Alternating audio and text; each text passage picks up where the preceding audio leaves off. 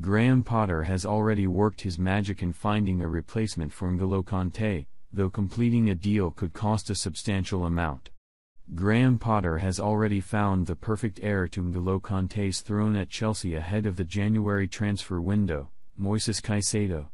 The 20-year-old midfielder was heavily linked with an exit from Brighton and Hove Albion this summer following an impressive campaign at the Amex Stadium last season.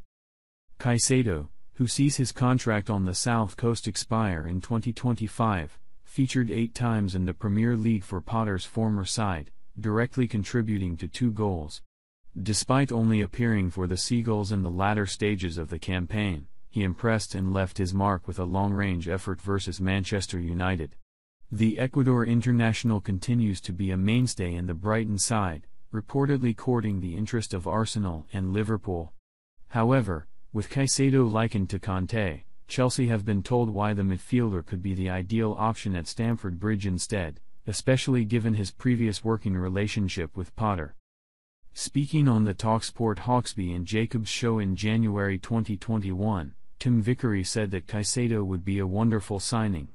The South American expert said, I'm a huge fan. And a lot of the teenagers that Europeans now want from South America are being bought on promise. This fella is already a reality and he has just taken everything in his stride. He has just stepped up to a pretty good first team in Ecuador, he stepped up to international football with the Ecuador national team who are flying. He is the first player born in the 21st century to score a goal in South American World Cup qualification and he is an all-rounder. Vickery added, he was talking about Kante of Chelsea being his role model and he is already more than that. In say, a 4-2-3-1, he is like that second man in that line of two so he can defend, but he can also bomb forward. He's timing his runs very well, he's cool in possession and he seems to have the whole lot. I think he is a wonderful, wonderful signing. However, Potter may have already shot himself, and Chelsea, in the foot, should the Blues look to register an interest in the talent midfielder.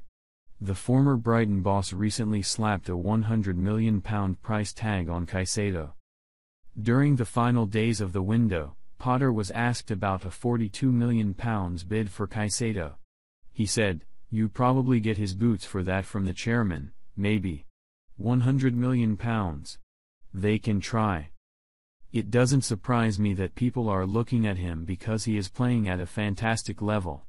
As soon as you do research on him, you realize he is a top kid, great person, young, playing in the Premier League, has all the attributes to play at the very, very highest level.